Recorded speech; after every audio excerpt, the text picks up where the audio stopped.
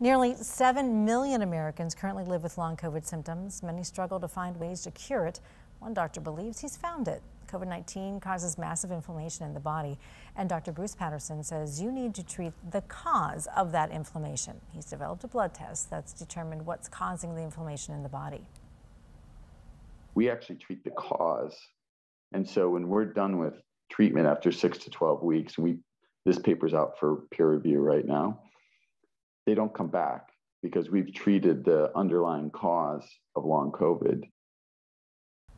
This treatment is available right now through the Chronic COVID Treatment Center. You can watch my full story for more information at 13onyourside.com.